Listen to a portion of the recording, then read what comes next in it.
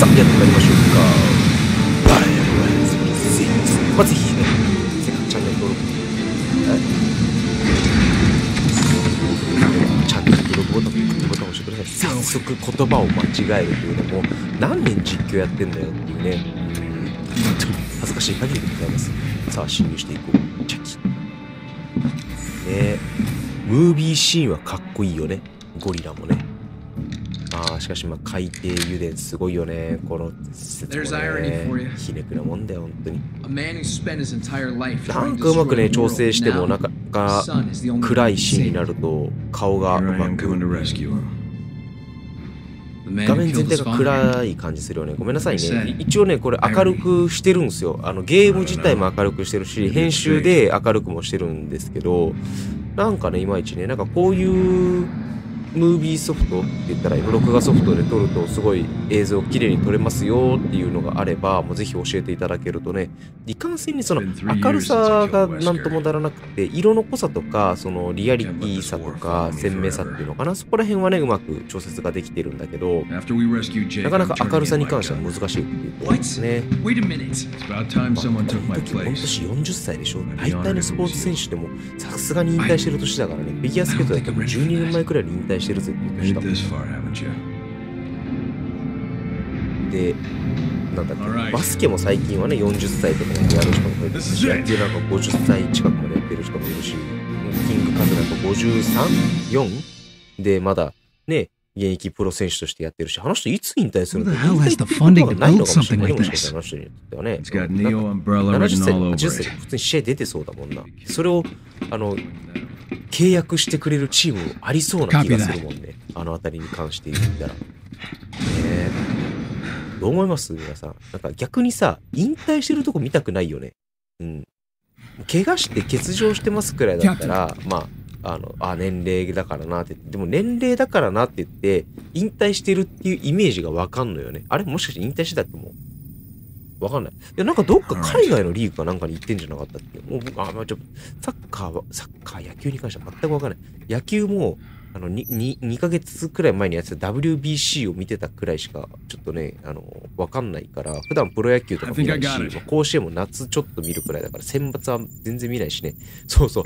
選抜もさ、この間、ね.やってた時にあの、うち、お母さんと一緒とか、いないいないばあとかが、を娘が見てるんですよ。で、あの、いないいないばのウータ?ンと、あの、はるちゃんとか、それからお母さ.んと一緒の、あの、誠お兄さんとかが卒業するんですよね。でその卒業する時期に、あの、選抜野球の方の放映が優先されたもんだから、その、一回一回の放映回数が.その卒業がもう決まってて、もう限られてるにも.かかわらず、そっち優先されて、なかなかうつ、ううつ、らないからって言って、ちょっとそこに関して、あの、子育て世代としては、ちょっとブーブー文句を言っていたっていう、そんな感じだったりするんですよね。これ、わかるかな？ラサーゼンコとか、まあ、子育てね、5歳くらいまでのお子さんがいる世代とかだったら、すごいこう、ああ、わかるわーって思ってもらえるんじゃないかなと思うんですけどね。うん。ね、新しい体操のお兄さんもね、すごいね、わかるね。だってまだ大学生でしょ？うん。だから、雄一郎お兄さんが逆に今度ね、30、30、いくつだったっけな、誠お兄さんが僕の1個上で、雄一郎お兄さんが僕の、だからその誠お兄さんの2個上だから3個上なのか、だから今年34とかかな？で、あずきお姉さんが26か7とかでしょ？あ、ここ破壊してたの。で、え.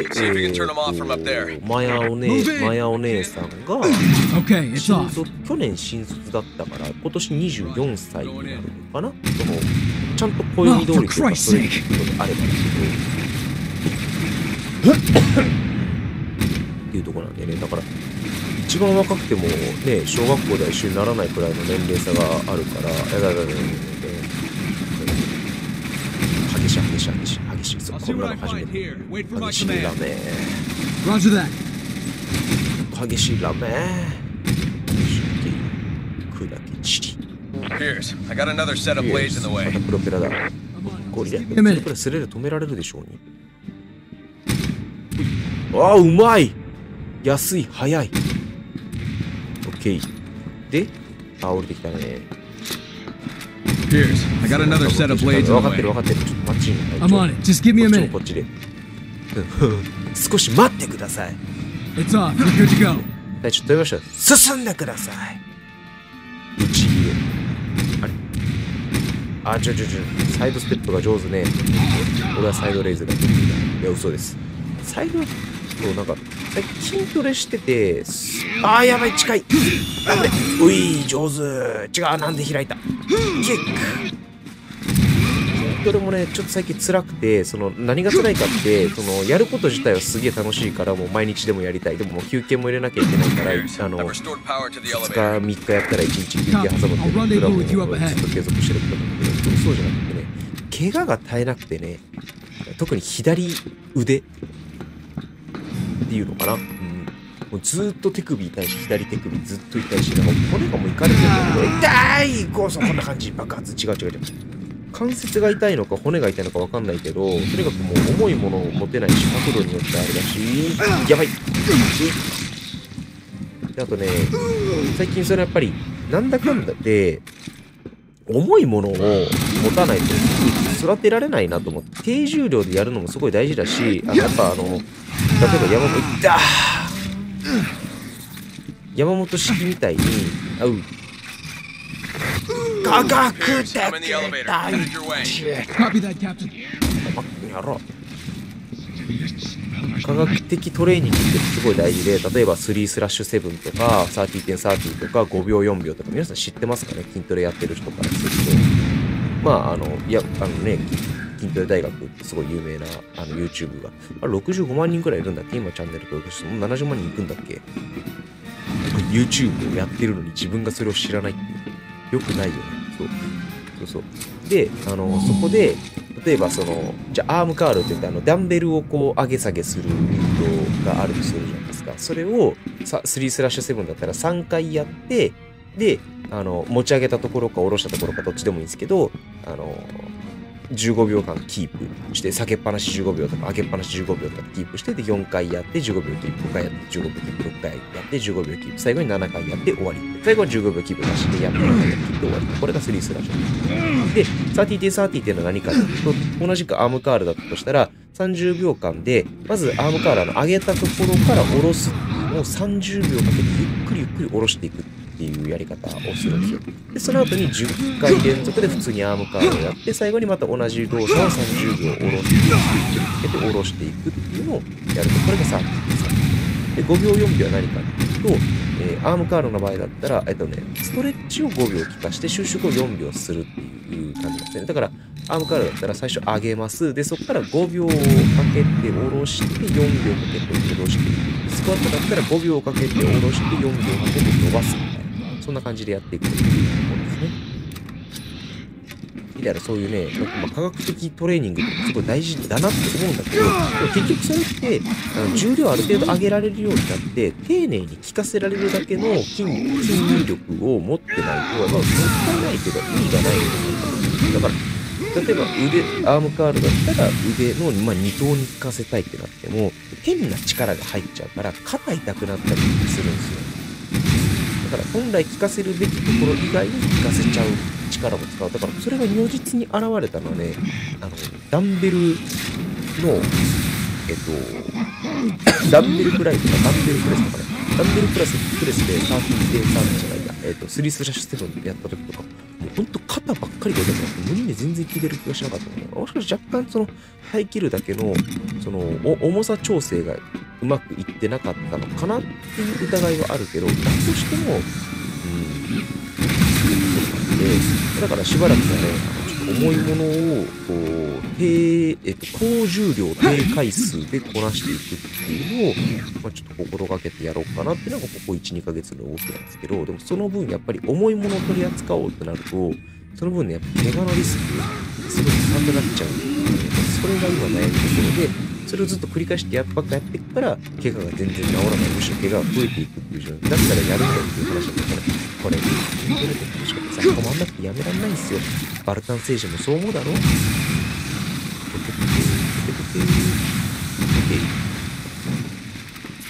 すよ。ね。あでも本当にどうし、あ、ただ、その、やってて痛くないくらいのあ、だから、えっ、とね、手首だったら痛くない動き？ダンベルくらいとかダンベルプレスとかその手首痛くないから、逆にアームカールみたいな、ちょっと内旋させ、手首を内旋させて使うようなものに関しては、若干ね、痛みを感じてしまっているところが正直あるから、まあ、あの、そこに関してはさすがに低重量でやってる。もしくはもう本当に、あの、中重量低回数でやったりっていう感じですね。その分、あの痛くないっていうのが確認取れ、ああ、こうか。痛くないっていうのが確認取れたら、あの、ちょっとゆっくり上げて、ゆっくり下ろしてっていうのを繰り返してあげるってことですね。まあ、あの、怪我してたらね、ちょっと安静にするのが一番なんですけど、もう、あの、ほん.とここ、半年近くね、手首.痛めてから、あの、ずーっと、なんだ until っ the け connection 湿 is 布貼ったり.ロキソニンテープ貼ったり、あと、サロンパス貼ったり、で、アンメルト横横塗ったりとかっていうのをやってるけど、もう一個に良くならないからね、これ俺はもうこいつ付き合ってて、stranger. 本当にあの、筋トレに飽きた。別に体鍛えたくない。鍛えなくてもいいやってならない限りはもうこ,こ,この痛みともお付き合いしていくさすがに見て折れましたとかだったらやめるかもしれないけどあーダメチームチゴリラ実際に帰らないでよキャッチオッケーオッケーオッケーオッケーオッケーチェキンチェキンノーホープのことは本当マジか鬼だってここが鬼すぎるこ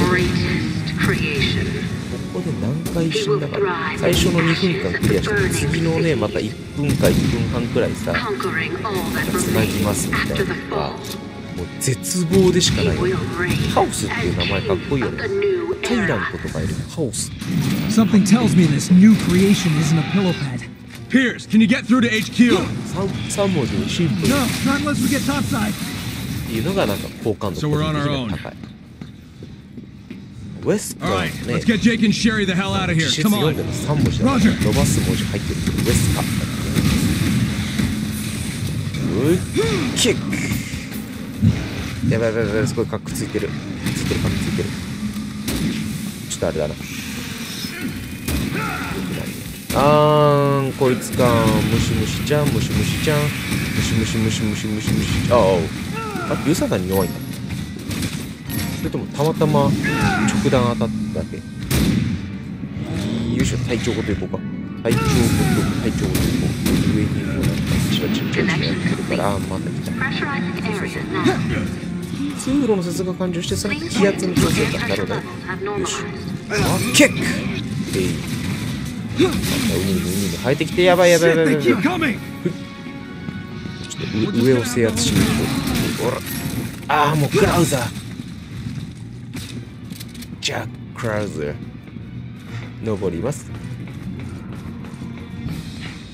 あそうそう。RE4 のね感想とかいろいろあるけどあの僕ここでは喋んないからね。あの RE4 はせっかくなんで実況撮ってるからあのぜひそっちの方見ててくださいね。まあこれあのこのこれに関してはもうあのあくまであくまであのエンブレムを破壊して雑談を楽しんでもらうっていう回だから実況は R4 の方でえしっぽりとやっておりますなかなか怖かったけどね。バイオ4で味わえないホラー体験とかネタバレしとるまあいいや掘りよあーなるほどね。なるほどね。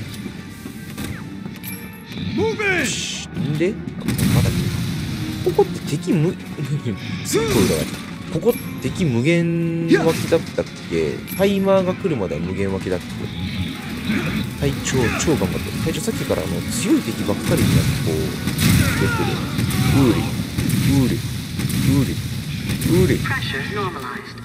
まだいるっけあ、終わった。よ.し。じゃあ、向かっていきましょう。か。あ、ちょちょちょちょちょちょちょ、痛い痛い痛い痛い。このタイミングで、Let's go, Captain. ふざけんなよ。おめえもだよ。砕け散れもう一つ、砕け散れあー、ばいばいばいばいば。こいつ見ると、あの、ターミネータージェニシスに出てくる T、T3000 だっけ？みたいな感じがするよね。これ聞くのかな？聞いてるこれ。聞いてない気がする。ちゃうにょうにょしてるもん。もうやめんどくせえ。行こうか。ほい、降ります。隊長、おう、隊長。隊長。隊長、ま、十分遊んだろ十分踊っただろ.行こうぜ。これも隊長と二人だけ抜けていって、あともう来れないっていうのかな。まあまあまあまあ、いいや。よし、じゃあちょうど区切りがいいところまで来ましたんで、まあ、ここからあの先、またちょっと合流する人たちがいるんですけど、まあ、一旦ね、一旦、はい。ムービーだけ終わらせて、終わりにしましょうか。そう。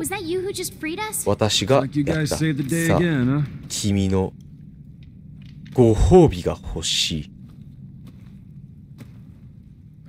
そうなんですよ。そうなんですよ。隊長じゃないや。あ、隊長と隊長か。知ってるよ。Yeah, I did. サングラスかけた時そっくりだもんな。But I'm the one that killed him. ここれでもできれば、あの、すごい個人的要望だけど、ジェイクも、その、ウェスカーの息子だから、その別に、金髪だとか、オールバックって必要はないけど、坊主はないんじゃねえかって思ったよね。You? うーん。That's right. Chris? 坊主はね。まあ、まあ,結局ジェイクの男気がかっこいいからいいんだけどさ。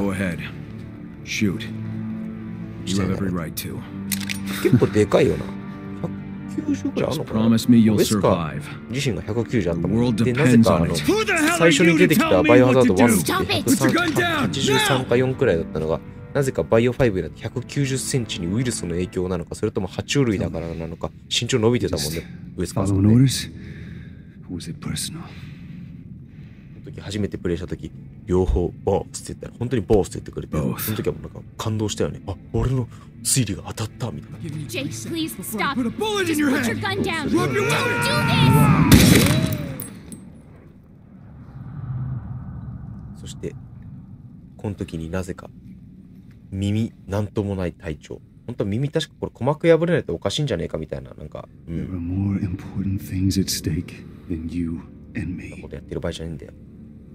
そうね。早くあの、ウウイルスをなんとかしてあげないといけない。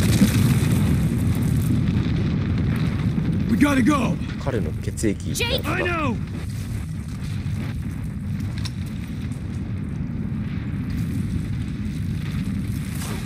よし。